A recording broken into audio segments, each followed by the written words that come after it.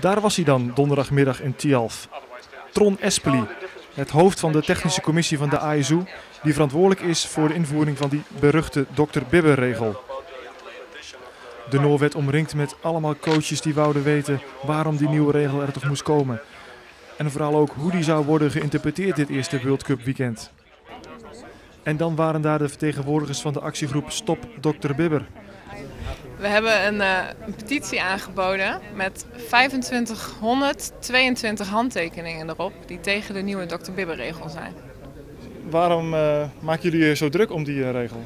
Nou, we hebben afgelopen weekend gemerkt dat tijdens de wedstrijden het heel erg lastig is om je nog op het echte schaatsen te concentreren. Zeg maar. Het gaat niet meer echt om de snelheid, maar vooral om, oh, gaan ze over die lijn of niet? En het is lastig waar te nemen. Het is, nou, het is niet altijd even duidelijk of het echt gebeurt. Dus het, is, uh, het leidt de aandacht af van waar het echt om gaat eigenlijk. Well, it's good to see uh, dedication for speed skating is alive.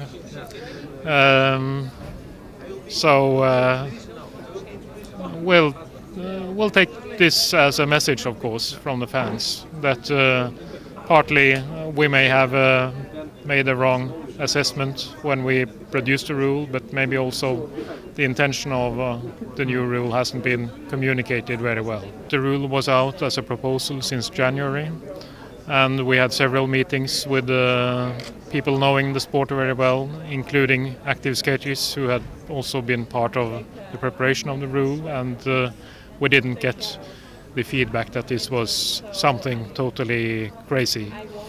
So from that perspective it was surprising to have this uh, very strong reaction. En was iedereen in Thialf dan alleen maar tegen de invoering van de nieuwe regel? Nee hoor, want daar was Trevor Marsicano.